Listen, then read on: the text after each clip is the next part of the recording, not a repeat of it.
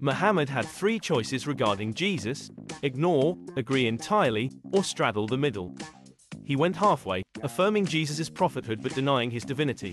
If Muhammad truly was a prophet, wouldn't his insights be immune to the biases of the time?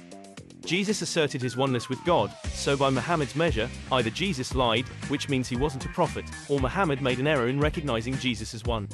From where did this error stem? From his uncle, an Ebionite Christian bishop's flawed teachings due to the heresy of his sect. It seems Muhammad was more influenced by the misconceptions of his peers than divine revelation.